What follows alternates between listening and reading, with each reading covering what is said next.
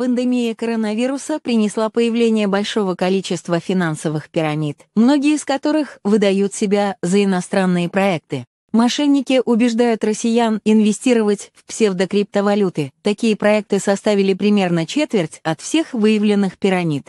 Также популярное предложение вложиться в якобы успешный и растущий бизнес, который сулит инвестору высокую доходность. По данным Центрального банка, для раскрутки организаторы схем используют социальные сети и онлайн-игры. Подробнее читайте на нашем сайте в разделе «Новости».